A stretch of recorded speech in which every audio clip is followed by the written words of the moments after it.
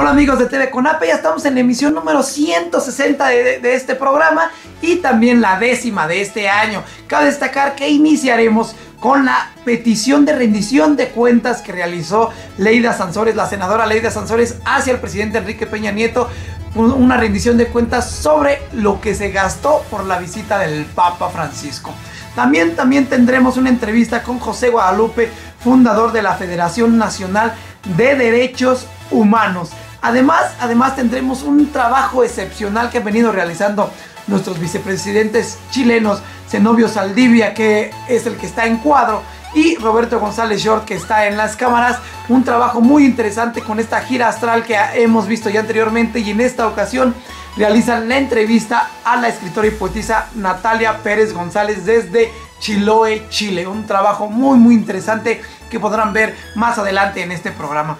También, también tenemos una entrevista con Juan Garzón, Juan Garzón que él es presidente del Círculo de Organizaciones Populares. Esta entrevista se realizó previo a la primera asamblea estatal en el estado de Puebla, exactamente en San Martín, Texmelucan, Puebla donde pues se firmará un convenio entre CONAPE y esta organización, así que no se pueden perder más adelante los detalles de esta información y también destacar, destacar que en el estudio tuvimos una llamada completamente en vivo de nuestra vicepresidenta de Argentina, Enriqueta. Así que es un programa muy interesante. Tenemos comentarios, tenemos opiniones, tenemos incluso pues risas y muchas cosas más que los van a entretener mucho en este programa número 160 de TV con APE. Además, mucha información y muchas entrevistas. Así que un programa muy completo este número 160.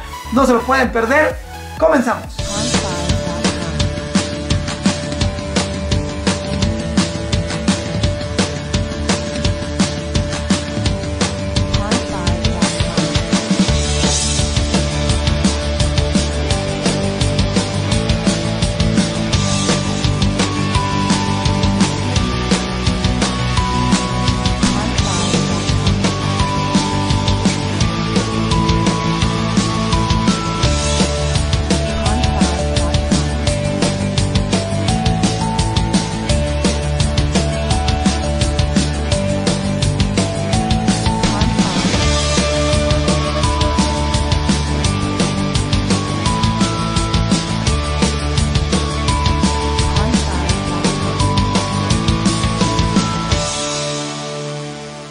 Desde los estudios de Radio y TV con API Internacional, su amigo Héctor Durán les da la más cordial bienvenida a su programa Circuito Cerrado, un espacio para el arte, la ciencia y la tecnología. Les recordamos que nuestro programa se retransmite en todos los medios electrónicos a nivel internacional por nuestros compañeros afiliados a CONAPE Internacional, así como en la República Mexicana. Bueno, pues en pantalla aparecen nuestros teléfonos para cualquier denuncia ciudadana, para que nos manden sus sus correos, sus saludos, eh, lo que les gusta, lo que no les gusta, sus videos que aquí les damos proyección. Pues vamos a dar la bienvenida a nuestro equipo de destacados periodistas. Saludamos a nuestro presidente de CONAPE Internacional, a Raúl González Nova. ¿Qué tal? ¿Cómo están? Espero que se lo estén pasando. Bien, que se la pasen bien. ¿Qué? Pasando. Se lo dijo él. O que se la pasen mal. Lo dijo Héctor. Ah, ok, ok. Se la estoy pasando muy bien. Me ahorra a mí mi comentario. Bueno, bueno. Se, se mete en mi tiempo. Sí, vean, no, te, te regreso. Este, No, ya lo pasa. dijiste, ya ni modo, ya. ya. Bueno, pero di repasado. Di repasado. Bueno, ahí está. Se la pasan repasado. Bueno, Di repasado. pasado y repasado. Un Ya no sé, repasón, un no repasón de repasado. ¿Sabes qué es un repasón? Sí, un ¿De qué repasón. Un repasón, Esos son otros. Un repasón es que rozas algo. no es un rosado. Es un rozón.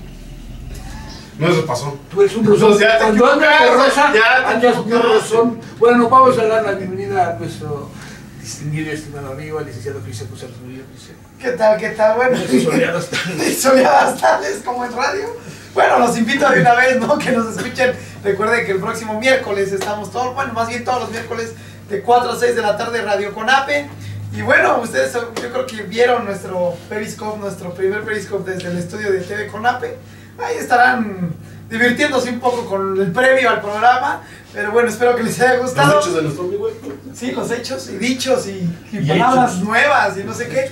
Y bueno, este es el décimo programa del año, nuestro décimo, el 160. Así que pues ya vamos como que más, Más Para allá acá. Bueno, pues lo esperado, lo esperado.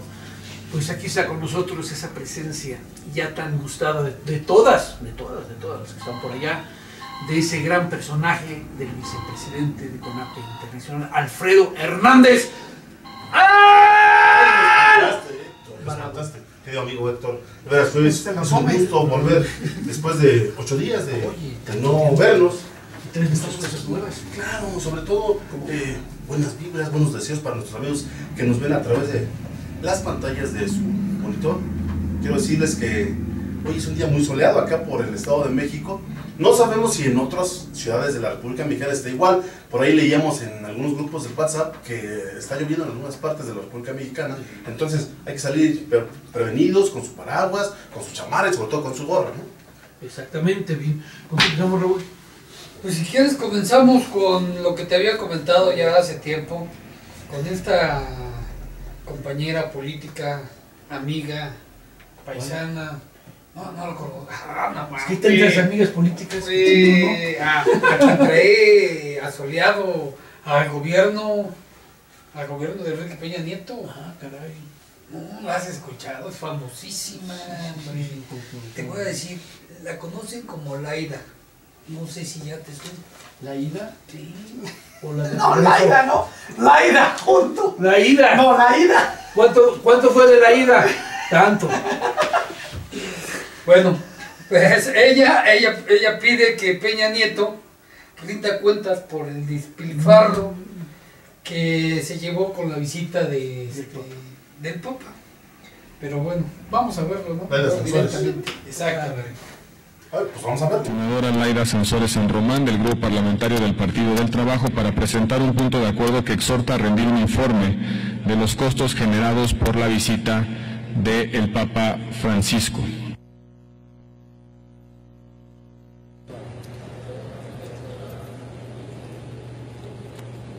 Presidente, compañeras, compañeros, mi punto de acuerdo es para exhortar a Peña Nieto y a los gobernadores de los estados de México, Chiapas, Michoacán, Chihuahua, jefe de la, gobierno de Ciudad de México, para que rindan un informe detallado de los costos generados por la visita del Papa.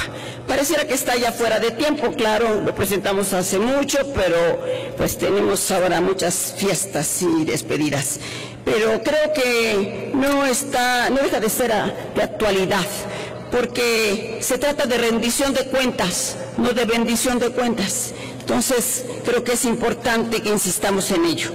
El Papa Francisco, pues es sin duda un personaje carismático, eh, se reconoce su espíritu innovador, su vocación humanista, y es un líder.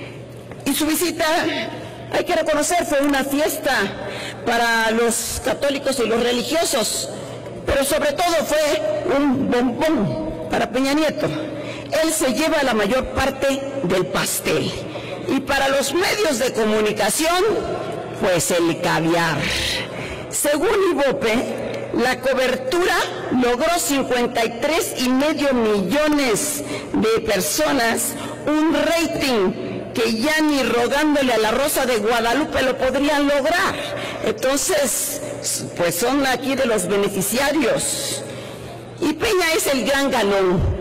La visita del Papa le sirvió de distractor para que se relegara el asesinato de Anabel, ya no se habla de ello, para que se dejara de hablar de Topo Chico, que hay que reconocer que es consecuencia de lo que sucede en el 70% de los penales del país. Y mientras México vivía enajenado, el gobierno apátrida pues desmantelaba lo que quedaba de Pemex, nos recetaba amargas medidas económicas. Peña Nieto violó las formas institucionales, abofeteó al Estado laico con costo al erario. Esquemas patéticos, escenas patéticas vimos esos días. En Palacio Nacional se tiraron 150 años de edificación del laicismo. Peña habló en Palacio, nada más lean su discurso, como si fuera el Papa. Parecía dictado por el Espíritu Santo, con incongruencia divina. Hablaba de Estado laico, pero nos declaraba pueblo guadalupano. Usaba dos cachuchas. Además, bueno, a mí me enseñaron las monjas que comulgar en pecado mortal es sacrilegio. Así que cometió sacrilegio y además ofendió a los mexicanos. Y bueno, no se diga, a Palacio Nacional invitó a la crema y moco de la política mexicana.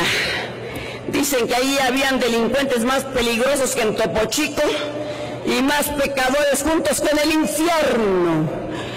El Papa habló de desigualdad, de deshonestidad, pero no se dieron por aludidos. Son incapaces de reconocerse a sí mismos cuando se habla de corrupción y de faraones y de príncipes. Eso no les toca a ellos.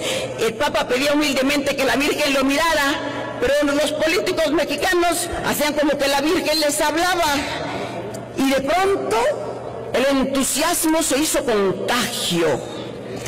Perdieron la memoria laica los inundó la euforia y entraron en trance. A gritos y a coro pedían bendición, bendición, inolvidable. Bien por el Papa que no se las dio. Lo que muchos de ellos merecen no son bendiciones, lo que merecen es la cárcel.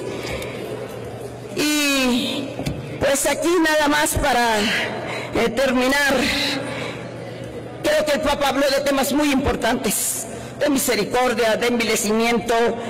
Me sentí muy orgullosa que reconociera a don Samuel Ruiz, reivindicara su memoria, pero también me hubiese gustado que hablara de asesinatos de periodistas y de sacerdotes, que en México, de acuerdo al Centro Católico Multimedia, ocupa el primer lugar en Latinoamérica en sacerdotes y religiosos desaparecidos o asesinados.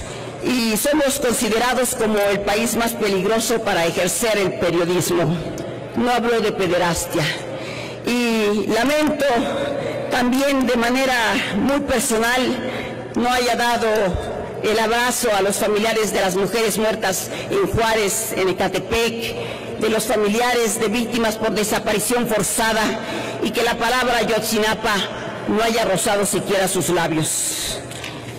Pues aquí ya nada más insistirles que él y sus gobernadores oportunistas que aprovecharon para tener reflectores que pagaron los mexicanos con dinero prestado. En medio de una fuerte crisis económica, que al menos nos rindan cuentas que transparenten los millones de dólares que se gastaron en esa visita.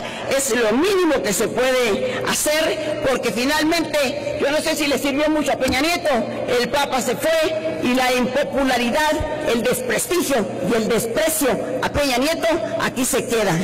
Y aquí aprovecho porque como nunca me dan la palabra, nada más para protestar enérgicamente por la represión que sufrió uno de los dirigentes principales en mi estado, en Campeche, un dirigente de Morena, un joven que tiene una sólida formación de izquierda, un joven que lo único que llevaba en, la mano para protestar era un libro. Y al estilo de Alejandro Moreno, que se dice gobernar Campeche, eh, acudió a la represión en lugar de agotar el diálogo. Él iba en solidaridad a una protesta de los eh, pescadores de Lerma que están viendo como un bien de la comunidad se entrega a manos privadas. Creemos que estos son momentos muy difíciles y que todos tienen que extremar la tolerancia, que no se puede violar la Constitución en sus artículos sexto y noveno de la libertad de expresión y de manifestación. Yo creo que son tiempos difíciles, eh, son tiempos que terminan por fortalecer a quienes golpean, pero para nadie es saludable. Un abrazo a nuestro amigo Héctor Maladé y pedir la detención que parece dedicada con puntería a dirigentes de Morena. No es casualidad, algo les está doliendo, algo les está preocupando, pero paciencia. Creo que las buenas formas y la fe, sobre todo la buena política, es lo que hoy hace falta.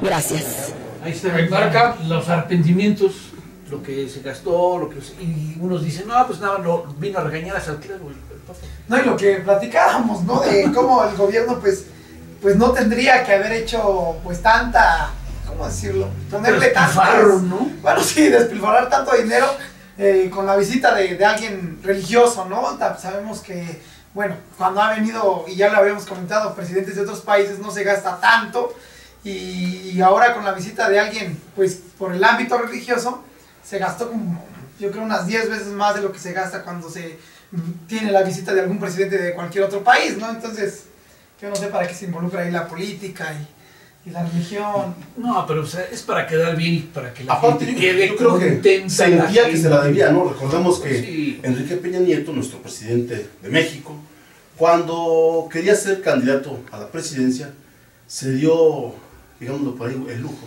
o se dio a la tarea de buscar quién lo llevara al Vaticano, ¿no? Por eso se hizo acompañar de ciertos personajes políticos, y bueno, llegó al Vaticano, y siento que a lo mejor ahora con la visita del, del Papa, aunque no es el que él visitó, porque recordemos que hay dos papas, ¿no? Cambiaron de papa. Recordamos que hay dos papas. Sí.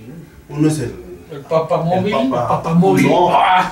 no el, Papa- Benedicto. Papa- Andreu. Él, él no se ha muerto, él todavía sigue vigente, aunque por ahí le dejó la estafeta, algo así como los técnicos de los equipos de fútbol, cuando cambian de equipo, o que llega otro y le deja la estafeta. Bueno, en el papado de Roma es algo parecido, ¿no?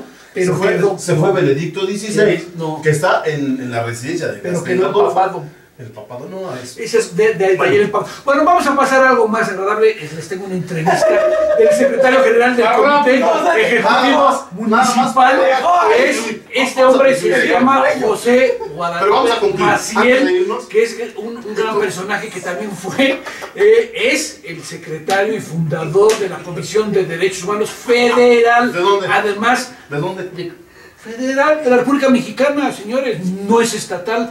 Y además fue eh, este, en la Chirisler, o como la llaman ¿Fue la? Chrysler, corredor de autos. No, pero ¿cómo dijiste? ¿La Chirilis? Chirisler, o Chrysler, es, es que eh, Chirisle. Chrysler, si lo lees dice Chirisler. Es la Chrysler, comúnmente es la Chrysler, fue corredor de autos. No, por eso pregunté, porque Y este, nos dice cosas muy interesantes.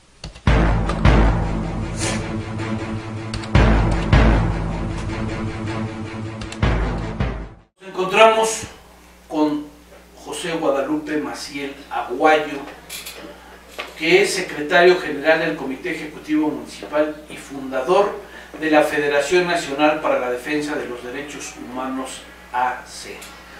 Don Guadalupe, ¿de dónde es usted?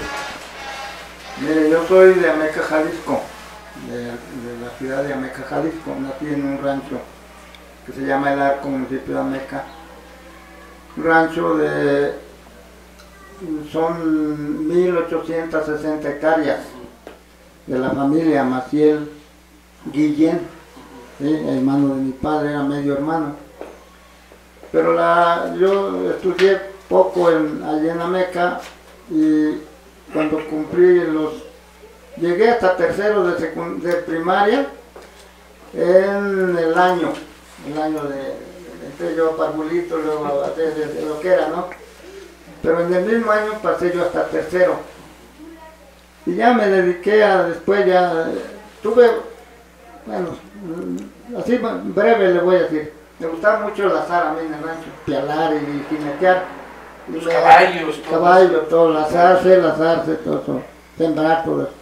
Tengo aquí, siembra aquí, desde, ahora le voy a enseñar a ver si lo graba un, un arbolito que tengo por aquí así, de, de estas, este, ¿cómo se llaman? De esas que venden con dulce. Tiene 10, una cochinadita por aquí así, tiene 10 bolitas así de, De dulce. de dulce de esas. bueno, ok. Entonces ya no fui al rancho, ya me, me- me dieron trabajo por allí un amigo que es, está el rancho de él enfrente y el de nosotros. Somos vecinitos ahí, nos dividen nada más un arroyo. Y como él tenía un este, ellos sí tenían mucha, tienen todavía, son ricos, fueron presidentes, era el papá de, de Total que ya no me fui al rancho, me vine, me llegó un doctor de aquí de México, mi papá trabajaba en la presidencia lo asignaron para él porque él andaba por todos los ranchos y todo. Esa amistad este, originó que me trajera él acá, como sabía que me decían el pájaro allá por el tanto que corría yo. Todo el mundo me conoce por el pájaro. Él me trajo acá porque en Chrysler andaba mal, la Automex que era. En ese tiempo lo tomé, sí. Entonces, yo llegué de, de obrero. A los dos, tres meses me pasaron a empleado de confianza, por lo que yo sabía de mecánica y todo eso. Para no alargarse la entré a control de calidad. Como a los seis meses que trabajé aquí, ya estaba yo de empleado de confianza. Le soy franco, yo movía Chrysler de México a mi antojo. Le voy a decir por qué, porque les encontré todas las cochinadas que hacían los, los obreros, de que el, carro tiene una hoja viajera que le dicen, sí, Ajá. y en cada estación hay un inspector. Y esa hoja decía todo, era la, la historia clínica del carro, como cuando se enferma uno, a ver qué tiene. Y ahí se veían los errores. Ahí está. ¿Y sabe lo que hacían los obreros? Le escondían la hoja, la metían por allí o a la basura y, y todo eso lo descubrí yo gracias a mi inteligencia de que platiqué yo con los muchachos y con los jefes y todo eso. Y yo al que le prometía que le daba la bata, y eso se trata de la bata, es un empleado de confianza. Y así se, hice, se hizo una, pero una cadena de que dimos con el problema. Porque llegaba un carro ya donde yo estaba, yo corría los carros ya después ahí, estuve en todas las áreas. Y ya me dediqué a correr carros. Aquí tengo mi este donde dice corredor de autos y reconocimientos de Chrysler. Ah, Aquí están. ¿Y después cómo entra usted a, a la Comisión de Derechos Humanos? Bueno, mire. ¿Por qué se le ocurrió entrar? Yo llegué a Metepec desde México a vivir y trabajaba en Chrysler. De ahí empecé a conocer, porque como todo el mundo, no sé por qué, pero me- yo no tengo aquí enemigos, salvo los que me del, para ahora cobrar mi fondo de ahorro que lo tienen Infonavit. Ahí sí ya. No se lo quieren dar. No, no, dicen que ya me lo dieron. Aquí tengo un documento donde dice que me lo dieron y que no sé qué. Lo demandé en la Profedet. Y todo dicen en, en el expediente, ahí está, son 200 hojas, algo así. Pero ninguna habla, ni, ni nadie dice que me pagaron con este documento o que tengo un sello de pagado. Y de eso era lo que yo les quería exponer. Incluso he tratado de hablar con la prensa universal este, mundial de, de CNN, CNN, sí, ¿no? CNN. De donde está la Sí, mm, Telemundo. Telemundo es, ¿no? Donde está la, la esta, ¿cómo se llama? Un programa de la pas- casi pas- pasa casi diario, diario, Bueno, ese. diario, la suelta la sopa. Pero ya le vamos a hacer publicidad, ¿no?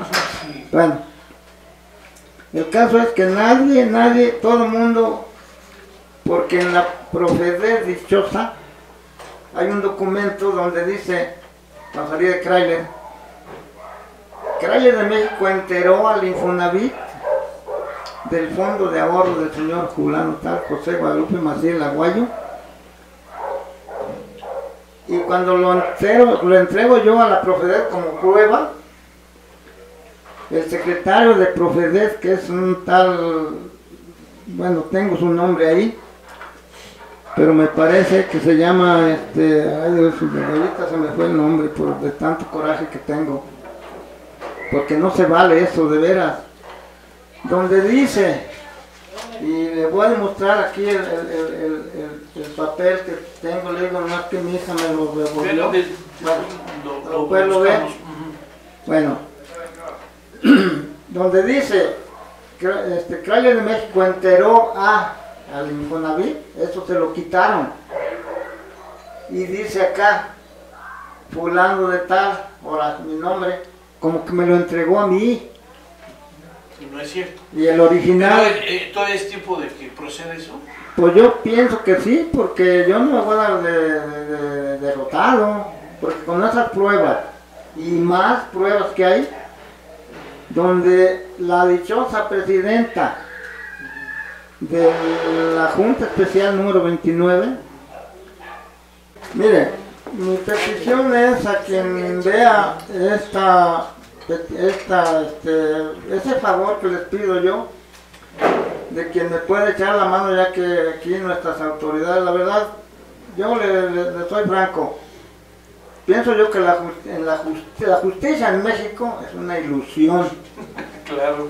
Es una ilusión de veras, yo tengo documentos de... Vivimos en el país de la impu- impunidad, de la Yo corrupción. tengo documentos que consta con los la- este, sellos de recibido de la presidencia de la República y no ha pasado nada. Me dicen que vaya allá, que vaya acá, esto sí le dicen a uno, ¿no? Tengo documentos del Departamento del Trabajo, de la, de la asesora jurídica del, de la Comisión de, ¿no? ¿cómo se llama? Del Trabajo, el- el- este, La Secretaría Federal de Secretario Trabajo. de Trabajo y Previsión Social. Ah, de- por cierto, es un mexiquense el que está. ah, Acabar de almorzar. Fíjense nomás. Bueno, tengo, lo que tengo son huellas. Aquí están, miren, muy claras. Ahí, así se ven. Sí, sí, sí, sí, sí. Miren nomás. De atentados que he, he sufrido, ¿no? Porque desde que estaba yo en la Profeder, y al salir de ahí, al salir en la esquina, me atropelló un, bueno, me pegó un carro, no me atropelló, pero ahí tengo las huellas, ¿no? Ya las vio, ¿no? Sí, sí. Eh, Quien quiera, pues se las enseñamos, ¿no? Estamos, ahora sí, que en los derechos humanos a las órdenes de quien nos solicite. Y gracias. ¿no? Claro, claro que sí, don Guadalupe, pues esperemos que tenga ese apoyo y que pronto hagamos esa película. Ojalá, hombre, Ojalá, sí. Allí ya en la Este, película, allí en la película ya, vamos a hacer una, porque allí la escuela, el kinder, la, la secundaria, todo, todo lo hicimos nosotros, con un- invité a varios amigos de los que me, porque ellos, la gente hace la guerra o hace la paz. Entonces, la señora, digo, está aquí conmigo, iban a venir unos compañeros también, no vinieron, ¿no? pero ellos me ayudaron, yo no lo hice solo, ¿no? Pero tenemos una con azúcar, tenemos la lechería, tenemos todo lo O sea que ha hecho bastante por esta colonia, ¿no? También, y por el usted. municipio Ah, también. por el municipio también. Estamos presentando a la Federación Nacional de los Derechos Humanos. Mi nombre es José Estrada Reyes y soy el vicepresidente de la Federación Nacional para la Defensa de los Derechos Humanos con domicilio en Atepec. Mi nombre es Josefina Mondragón Flores, colaboradora de dicho comité. Mi nombre es Alberto de León Carrillo, soy secretario de organización del mismo comité de la Federación Nacional para la Defensa de los Derechos Humanos BTP. Mi nombre es Emma Montiel y soy colaboradora de de MTP. A quien les damos las gracias y le agradecemos su presencia, ya que nos faltaron varios por razones de enfermedades y todo eso, pero discúlpenos. Muchas gracias. Pues aquí está, aquí está, aquí está este hombre, este Maciel, Dices realmente que él ha hecho mucho por la comunidad. ha hecho mucho por su comunidad. ¿Cómo qué cosas? Por ejemplo, este, eh, les, les- les ha tramitado muchos este, Pasaportes, servicios, no, no, no, no, servicios. Este, ¿Cómo qué? ¿De qué? Pues que, que pinten sus calles, que este material que, que les ha otorgado. Material. cemento, gente. varilla, ¿No tienes grava. cosas de materiales o cómo? Él ve por su comunidad porque él es ahora secretario. Ah, no, ahorita que dijiste, él ve, él ve Por su beneficio. por su beneficio personal, ¿no? no, no, no, no, ¿Quién no. lo dijo? Es secretario general del Comité Ejecutivo Municipal de Metepec. ¿De qué? No, bien, fíjate que bien. Bien. Bien, muchas de estas gentes deberían de existir. Así es, así es. No que los políticos no hacen nada y No, él se quita la camisa y ha hecho mucha. Toda la gente. Nada más que ahorita con todo el respeto que se merece, ¿cómo se llama? Guadalupe Maciel. Guadalupe Maciel, yo te recomiendo en, en buen plan que en este momento no te quites la camisa. Porque está haciendo mucho frío y estamos a, unas, a las faldas del volcán. Se va a enfermar Héctor. se Estoy va a hablando en sentido figurado de que se quita la camisa pues, por un buen amigo. Esa es una canción. camisa, eso de ahí la, la retomo y la ratifico. Se quita la No, no, camisa. a ver, eh, eso Por te ratifica y la firma, eso nomás lo hizo Peña Nieto. Te lo firmo y te lo cumplo. Y no. Bueno, fue solo un No, no, eslogan de eso, pero, pero El- no le deben de copiar. ¿El Chapis hizo también o, o él no, No, firmó no, nada? No, no. El Chapis. Ya te estás revolviendo, Héctor. Sí, No, no, hablando porque- de- estás Porque ya todos firman. Ya va cada quien haciendo su firma. Ya, ya todos firman ¿Tú compromisos. te comprometes? Sí, me comprometo y lo cumplo. Ya se me cayó mi acordeón. Bueno, Bueno, ya. pero ya. Mejor vamos a viajar de compromisos, dejémonos de firmas, dejemos. Es más, vamos a dejar el país para que no, se hagan bolas.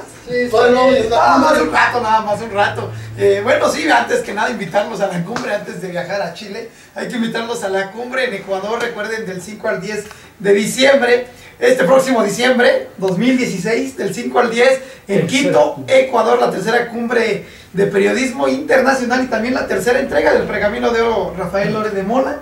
Así que es un evento muy importante en el que pues todos tienen que asistir y muchos que van a querer asistir ahí están pues los correos y las formas que se pueden comunicar con ¿El nosotros. 5 al ¿no? 10? Y aparte, ya tenemos este, los primeros ponentes, ya tenemos a nuestra vicepresidenta y licenciada en Derecho, y quien aparte trabaja fuertemente ahí en República Dominicana, la licenciada Donna Jacqueline, donde en la cumbre firmaremos un convenio con una escuela de periodismo, de la escuela de periodismo de allá de República Dominicana.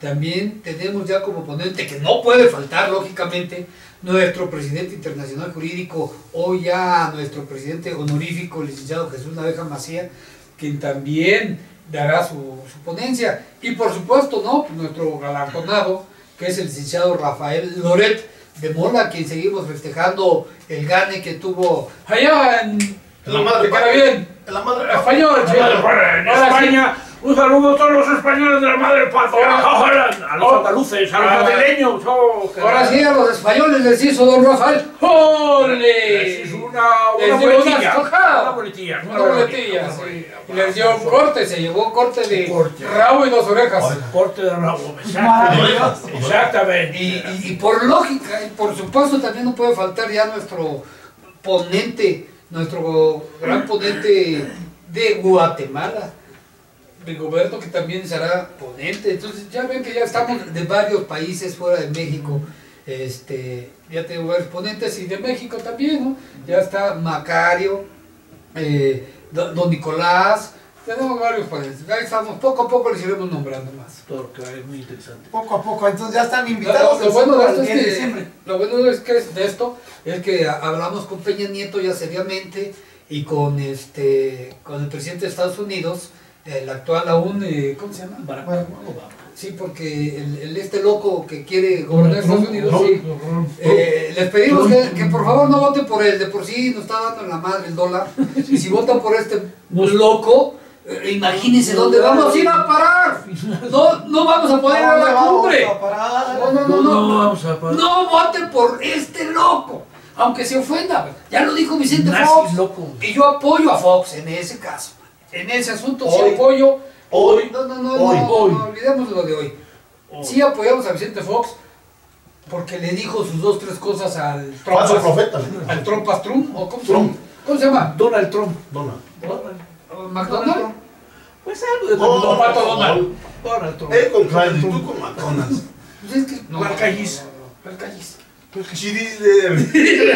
Porque así Bueno. le dicen la cara, le dicen la chirile porque Entonces ya el dólar no se ha mantenido, pero tampoco ha subido. Entonces qué bueno, ¿no? Qué bueno, porque sí nos estaba ya preocupando. Entonces le dijimos a Peña, calma lo del dólar o te traemos la cumbre aquí a México y la vamos a hacer ahí en, en este... En Los Pinos. ¿Los Pinos? Sí, Los Pinos. Es, es muy grande, entonces es muy grande y bonito. Sí, Y, como. Los Pinos es de los mexicanos, bueno, pues yo creo que, y dijo, no, no, no, no se preocupe, ya vamos a estabilizar el dólar. Te agradecemos, este señor presidente de la República Mexicana, como dice Broso, su presidente de ustedes. Los presidentes de todos ustedes. Así lo Pues dice al Broso. final de cuentas es de todos nosotros, porque estamos en México. Ah, entonces mientras estés en México es tu presidente, aunque tú seas de Inglaterra. No, a ver. Ahí está. Si eres mexicano es natural que sí. Por eso. Bueno, ¿qué vas a discutir de eso? No, es que eso es cierto. como- Queridos compañeros, si ustedes son mexicanos de cualquier parte de la República Mexicana y aunque vivan. en Discúlpanos otros si no países, entra tu, tu bueno, programa, este Roberto González Chor. De todos modos, Aquí nuestro Enrique presidente es presidente. Se está alargando para que lo paren. Pero vámonos con el, nuestro Bueno. gran amigo Cristian.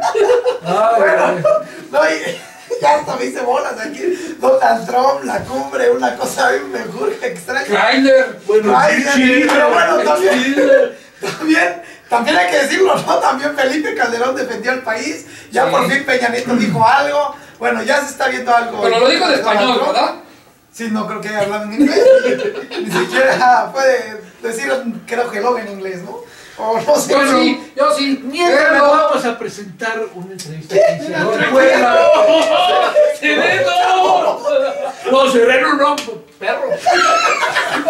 Bueno, ya, después de todo esto, por fin vamos a viajar a Chile. Lo que les tenía Es que estamos en vivo.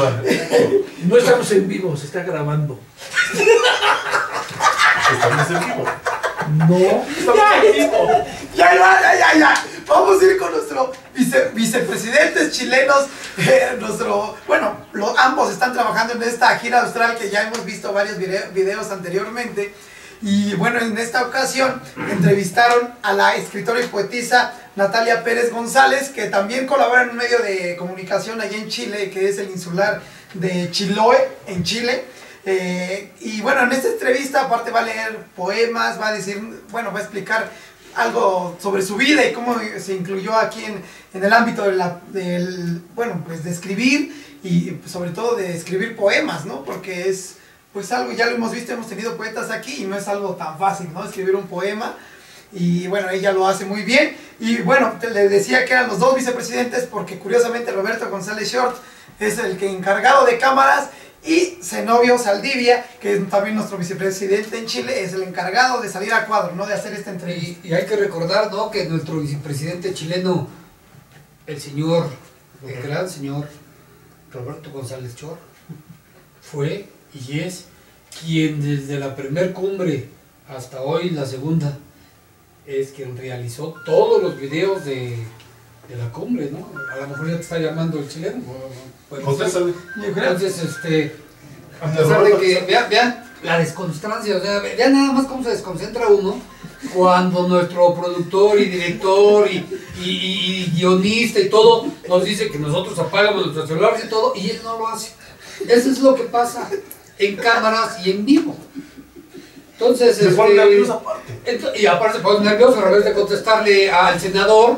No, no, no lo quiere contestar, no sé por qué. Mejor ya vámonos directamente hasta Chile. A ver esta entrevista con Natalia Pérez González.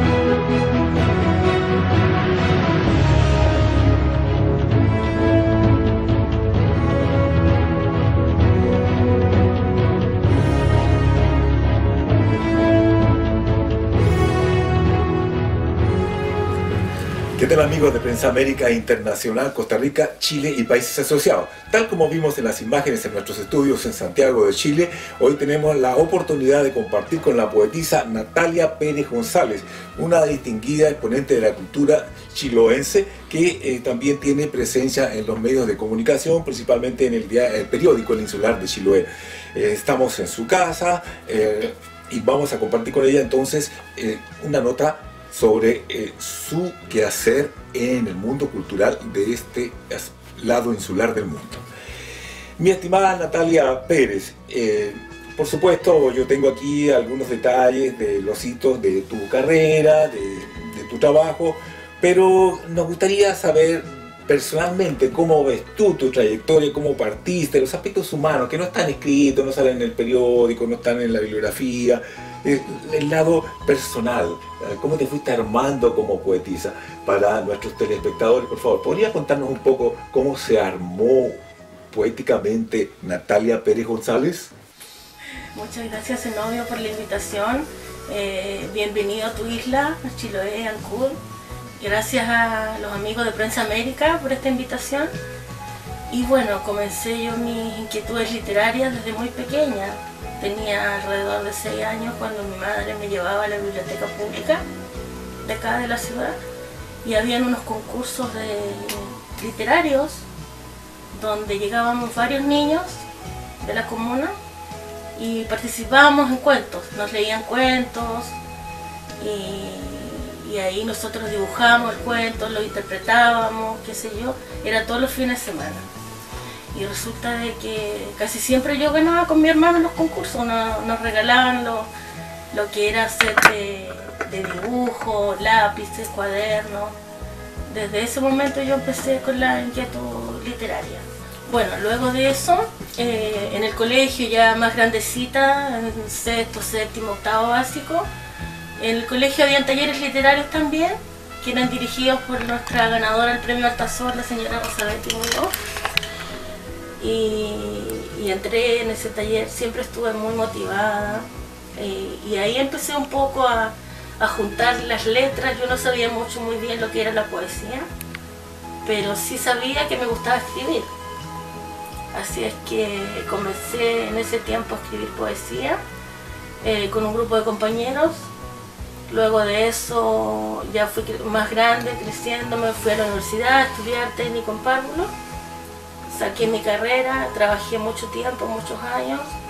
Y luego de eso eh, decidí dejar eh, la labor de docencia de párvulo para dedicarme a, a lleno a lo que es la poesía solita. Me- hice un camino, digamos, sola. Yo no, no tenía muchos conocidos, tampoco acá había muchos talleres literarios. Luego de eso, la universidad, cuando estaba en la universidad, eh, ahí también participé de los talleres que, que hacíamos con los compañeros y sacamos un, un pequeño librito que todavía debo tener por ahí de recuerdo. Y, y bueno, luego de eso a trabajar, qué sé yo, y luego de repente un día me dije que ya no quería seguir laborando en, en lo que es los jardines infantiles y lo dejé, lo dejé un buen tiempo, me puse a escribir, pero escribía, escribía, escribía todos los días. Excelente Natalia, quedó muy claro ya la pasión que te nació por la poesía desde los momentos de tu juventud. Ahora ya más en el ámbito profesional, de tus notas periodísticas específicas, ¿podrías contarnos un poco cómo vas tocando eh, ciertos aspectos humanos, afectivos, o cuáles son los tópicos que te interesan más como poetisa de la zona? No sé, la naturaleza, las pasiones humanas, eh, las flores, en fin, ¿qué es lo que más te eh, apasiona eh, presentar a tus lectores desde tu poesía actual? Sí, Zenobio. Eh, bueno, los tópicos de mi poesía. Eh, hay varios temas que me gusta tocar en, en los versos. En realidad, de todo un poco, de la mujer, del amor, el desamor, eh, la naturaleza, el mar, las flores. Un sinfín de temas, pero que tienen que ver con la gente de Chiloé. He hecho también algunos reportajes de deportivos, eh, ¿cómo se llama? Biografías. Biografías deportivas a, los, a los jugadores de Ancú. También he hecho un poco de, de urbanidad. Eh, eso. Muy bien, muy bien. Gracias Natalia. Eh, te quería proponer lo siguiente. Aquí tengo uno de los textos donde sales tú con alguno de tus trabajos y eh, también sería muy novedoso, interesante que pudieras leer un, un par de poemas. eh, y que me permitieras también leer uno tuyo, ¿ah? para alternar, qué sé yo, los matices, en fin, para nuestro público de América Latina toda y también de España, en fin, otros países. ¿no? Por supuesto, Eh, elige lo que tú quieras, lee uno tú y después leo uno yo y cierras otro tú. ¿Te parece bien? Bueno, ahora me gustaría compartir uno de mis poemas, algunos de mis poemas, eh, editados acá en el libro del taller literario Talleres Mistral, que también fue dirigido por Rosa Betty Muñoz y yo tuve el placer de participar en esos talleres. Por culpa de una cebolla. Se han secado las pequeñas islas de mis ojos, se multiplicaron los charcos de las plazas, los ríos han desbocado su cauce en dirección insular. Por culpa de una cebolla, se irritaron las pendientes en mis pupilas. No veo más que lluvia de- desde esta ventana mojada que hoy es el mundo. Soy una gran gotera destilando a punto de parir su desorbitada borrachera.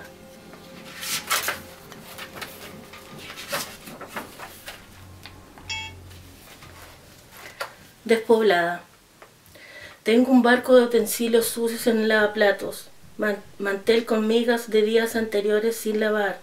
Tengo ceniceros de noches culpables, arriba un reloj de teñido detenido, del techo cuelga humedad, olvidé apagar la tetera, se quemó de tanto hervir.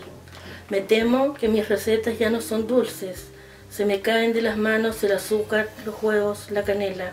Me volví torpe de tanto mar. La estufa llena de brasas me saca la lengua. Yo sé por qué es. Lo noto en mi pelo, en mis ojos, en la palma de mi mano que ya no te siente. Mi cocina no es cocina, ni yo soy yo. La soledad transita ensordeciendo los truenos, se fuga por la cortina, se sienta en mi silla y me mira con cara de muerta.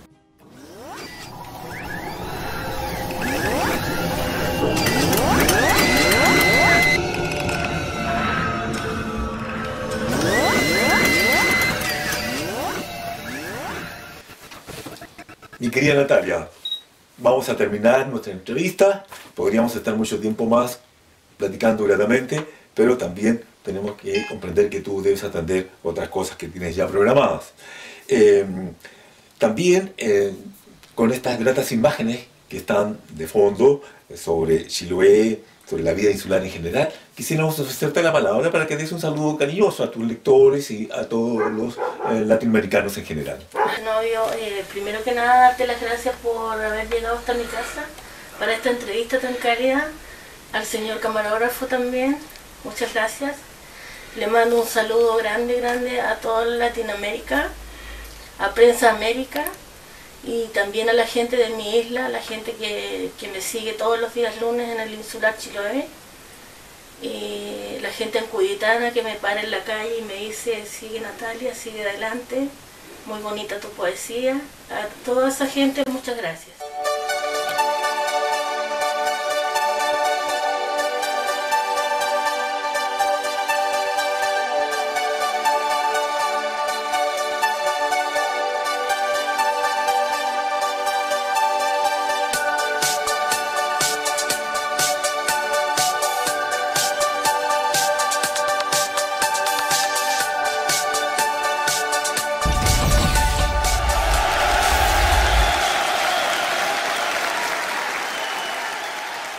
América Internacional, TV Conape México, Globatium España, Malagaldía.es. Te traen próximamente Gira Austral Prensa América con Zenobio Saldivia Maldonado y Roberto González Short. Gira Austral Prensa América.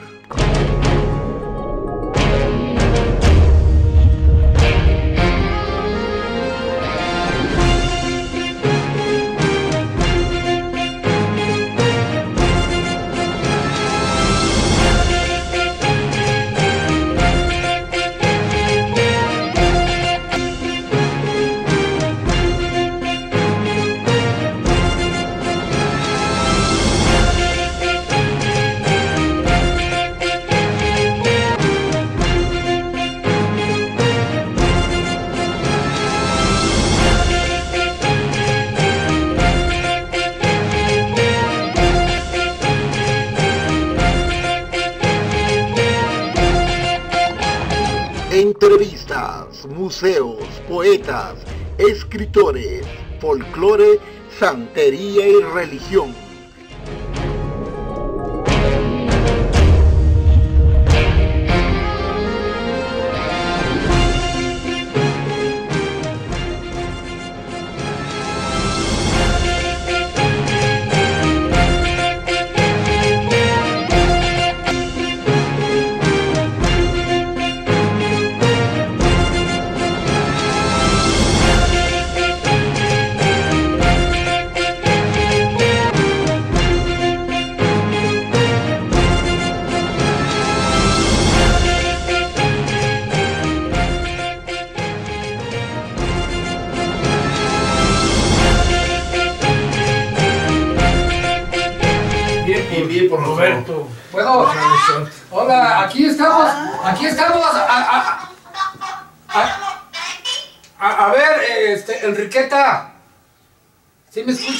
Estamos grabando en vivo TV con APE.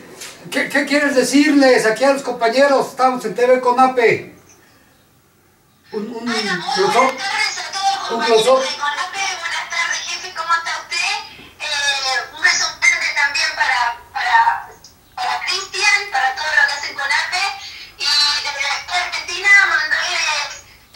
dicho, comentarles que estamos trabajando a full para la cumbre del 2018 de periodismo aquí en Argentina. Bien, bien, bien. Eso es todo, Enriqueta. Trabajando fuertemente como siempre, una mujer muy activa, muy brillante.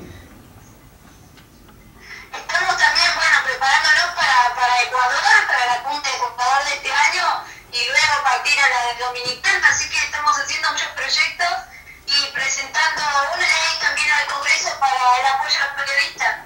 Bien, excelente. Excelente y sobre todo la, la- la ponencia que vas a dar, ¿no? La ponencia que vas a dar a- ahora en la tercera cumbre en Ecuador.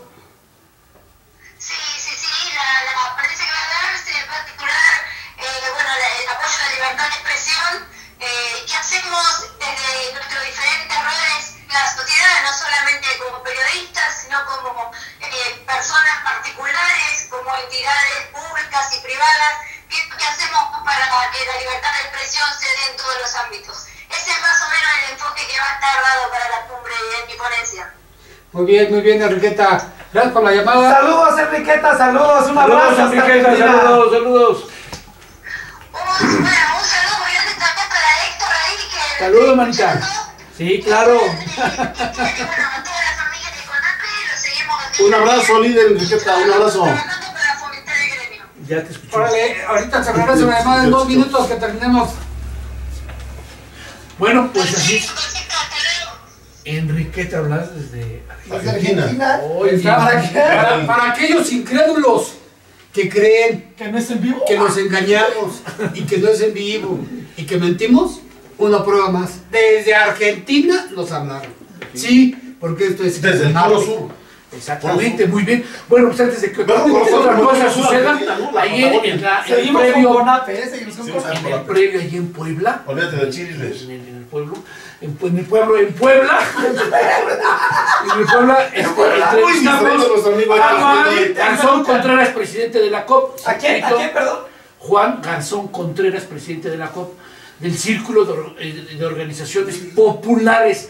Realmente él tiene a todos los comercios y que a todos los comerciantes de, de allá de Puebla, él es un líder tremendo que le pareció un éxito y le gustaron todo lo que se habló en ese previo a, la- a la A asamblea. la asamblea.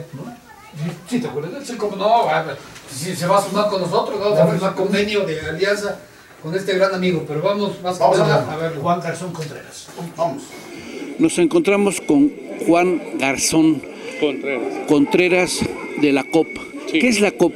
Es el Círculo de Organizaciones Populares. Eh, es una organización que nace en 1974, eh, solamente con un puñado de seis compañeros, comerciantes en la vía pública. Eh, pasa un proceso al 94, ya éramos 2.263 compañeros.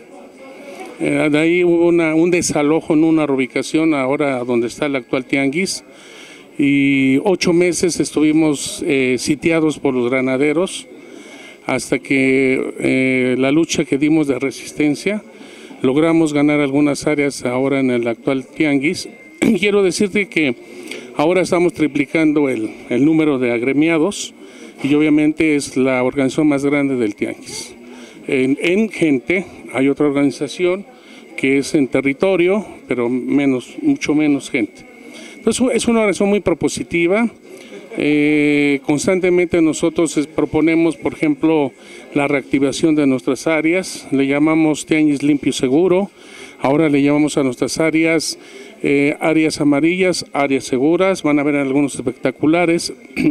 Como también eh, acabamos de realizar lo que nosotros le llamamos el plan maestro del Tianguis, donde incluye lo que es el, eh, lo que es el diagnóstico, cómo nos encontramos actualmente, y obviamente también eh, tenemos un mapeo de cuántas organizaciones somos, a dónde estamos ubicadas y el número de cada uno de los agremiados. Eso nos hace ser una de las organizaciones más propositivas y por ende también una organización muy solidaria. Hemos apoyado tanto a zapatistas como también a compañeros tabasqueños, como cuando vino López Obrador, eh, marchas que pasan, también nos solidarizamos con ellos, así como ustedes. Y obviamente este, pertenecemos a, a nivel nacional al Movimiento Nacional por la Esperanza, con la senadora Dolores Padierna. Y obviamente también somos una organización ahora ya en crecimiento como ustedes. Estamos en, desde Rosarito, Baja California, hasta San Quintín. Estamos ahí en los mercados sobre ruedas, ahí están mis sobrinos. En el estado de, de México estamos en Iztapaluca. Y en Tlaxcala estamos en la vía corta Santana, Chautempan, Puebla en una población que se llama eh, San Cosme Mazatecosco y en Puebla, pues aquí estamos en este tianguis. Entonces nos hace una organización por la más grande y obviamente eh, nos gusta eh, colaborar y apoyar este tipo de movimientos, este tipo de encuentros.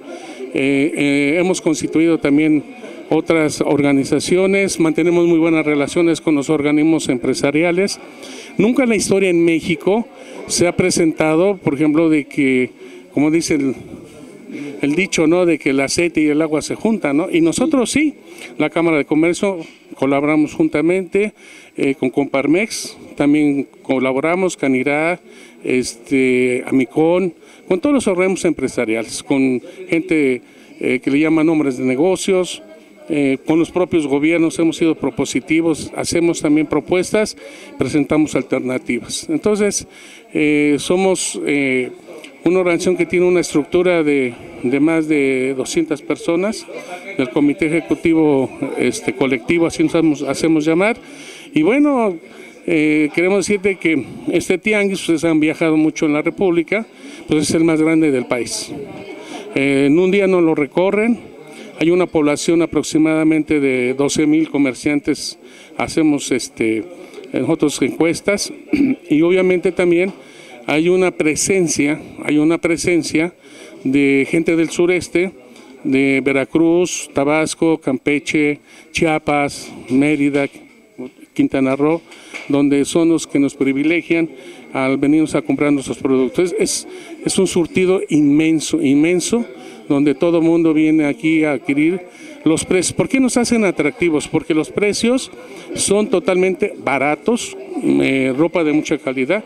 Nomás les quiero decir que, por ejemplo, hay prendas de ropa americana que vienen de hasta de 4 o 5 pesos, hasta igual también. Hay, hay marcas, marcas que tenemos de ropa y calzado. Nosotros tenemos un área de calzado única que nos gustaría, si están un poquito para el domingo, este, que lo conocieran, ¿no? Nos gustaría que lo conozcan y que se lleven esa experiencia de que aquí somos más generadores de empleo que la propia armadora de Volkswagen de vehículos. O sea, genera muchos millones, muchos miles y miles de, de empleos. Entonces, por eso lo hace a este tianguis el más importante de Latinoamérica. Este, ¿Qué te parece esta ah, plática que, que- que tuvieron con la organización de CONAPE Internacional? ¿Qué te dejó? Mira, me dejó, eh, primero, me dejó una gran satisfacción. Eh, yo siempre he soñado que ellos se junten, así se unan, se organicen, este, porque han formado muchas asociaciones y luego igual ya no, pero este, hoy cuando la convocatoria la hacemos me, me siento muy orgulloso porque me hacen esa, eh, esa oportunidad de convivir con nosotros y entonces eso hace que vayamos ganando cada día más la amistad, eh, más, más el, pues obviamente que el que puedan ellos eh, tener la oportunidad de escuchar nuestros puntos de vista también, ¿no? Entonces, eh, para mí lo, de ustedes es una gran experiencia, nos deja muy buen sabor de boca. yo sí les diría que no dejen a Nacho, que lo sigan y, y que este, incorporen pues más, más compañeros. En Pola también tenemos un vocero, nuestro de la organización, que mañana va a estar con ustedes, ya confirmó, también de medios de allá muy importantes, ¿eh? muy importantes también. Y bueno, nuestra mayor este, mm, objetivo sería de que ustedes, su meta sean que la mayor parte de los medios de comunicación periodistas se unan, no solamente como tú decías municipalmente, sino pues mundialmente, ¿no? Esos son mis mejores deseos. Me quedo con esa gran alegría. Y bueno, eh, que no sea la primera ni la última vez que nos veamos, sino que tengamos una permanente este, comunicación este, para que podamos ir avanzando. A lo mejor nosotros tenemos ese proyecto, coincidimos mucho en las cosas con ustedes, demasiado lo coincidimos, y yo creo que habría que compartirlas. Este, también nos gusta este, viajar a otras partes y vivir esas experiencias, porque al final de cuentas para nosotros nos ayuda en los liderazgos que, tenemos también, ¿no? Y este nos enriquece mucho esto. Bueno, este, te agradecemos este, esta breve entrevista para Radio y TV Conapi Internacional, Héctor Bueno, pues estamos de regreso. estamos de, de regreso. Pues ¿Qué, te parece este líder? Fíjate que... Bien, ¿no? ¿Y se va a sumar? O sea, muy bien, ¿no? Porque aparte de que estuvo él, este como gran líder, en la previo a la asamblea,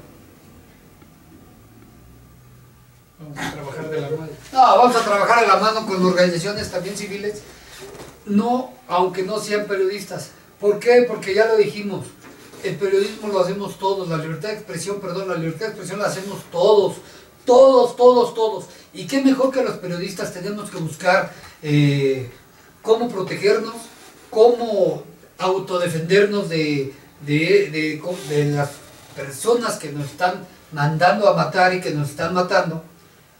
Entonces nosotros también debemos de buscar alianzas como estas que se están haciendo ya con organizaciones civiles y con toda la sociedad en general, porque hemos, hemos, abandonado mucho a, la ciudadanía, a la gente, a la población, y los periodistas debemos de reconocer que nos debemos a, los ciudadanos. Que cuando estudias periodismo, que Cristian que acaba de salir de la academia, de la escuela y que aún sigue estudiándolo, yo creo que ahí se lo dijeron o se lo han dicho la escuela Carlos Empián, que el periodista, el periodista, o sea, debe de, de dar a conocer la noticia como tal como es a sus lectores. Y sus lectores no es el político, no es el presidente municipal, no es un regidor. Sus lectores es el pueblo. Ese que hace que el periodista crezca. ¿No?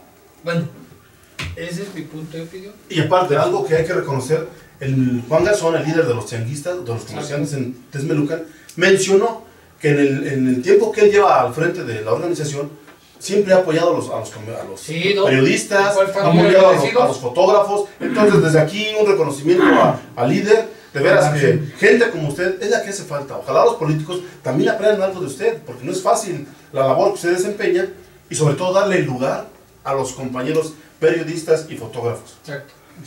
Pues nos avisa que el tiempo ya, ya se terminó. Ya. Entonces, algo que le quieres decir a los que, están viendo. Yo pensé que ya no, ya, ya se había despedido. repetirles una vez más. Nos escuchen todos los miércoles de 4 a 6 de la tarde en Radio Conape. Y bueno, obviamente la invitación a la cumbre está abierta, así que preparen todo lo que necesiten para el próximo mes de diciembre. Estamos en el próximo programa.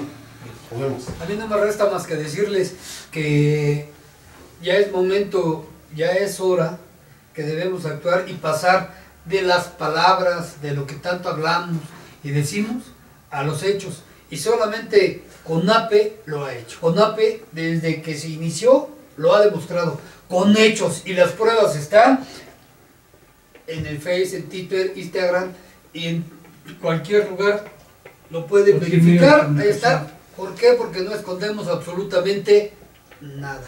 Y nosotros sí actuamos y ponemos en práctica y en hechos lo que hablamos. Pues a mí nada más me resta felicitar a nuestro estimadísimo amigo, a don Rafael Loret de Mola, ¿no? Por otro ¿Cuál es su triunfo triunfo? más, por su triunfo más y... Que nos invita a la boda. ¿no? Invítenos a la boda, por favor. Invítenos a la boda y allá en Cataluña se come deliciosa esa fabada. Ah. Hasta la próxima. Desde los estudios de radio y TV con APE Internacional. No, es como algo no contó. Me adelanté. Sí, me adelanté. Sí, me adelanté.